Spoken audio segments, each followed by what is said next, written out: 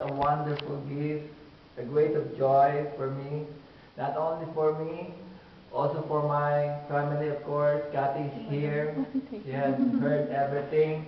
And of course, my my chefin, Corina, Thank you. and all of you who are gathered here tonight. I'm really very, very thankful for this evening, for your support and for your endless help with what I can do for our country. Thank you. Thank you.